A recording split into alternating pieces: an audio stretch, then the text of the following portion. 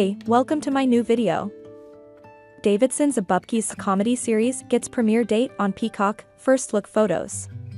Pete Davidson's Bupkis, a comedy series inspired by his life, has a premiere date at Peacock.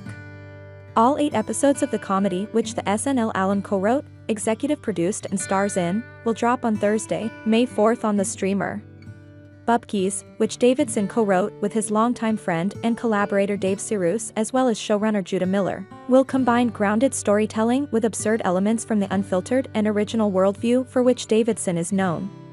The show, which has been compared to Larry David's Curb Your Enthusiasm, is expected to reflect Davidson's real-life persona with unapologetically R-rated storytelling.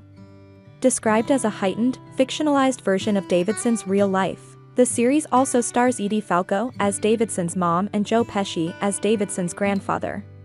Guest stars include Charlie Day, Brad Garrett, Simon Rex, Ray Romano, Kenan Thompson, and Chase Sui Wonders. Check out some first look photos below.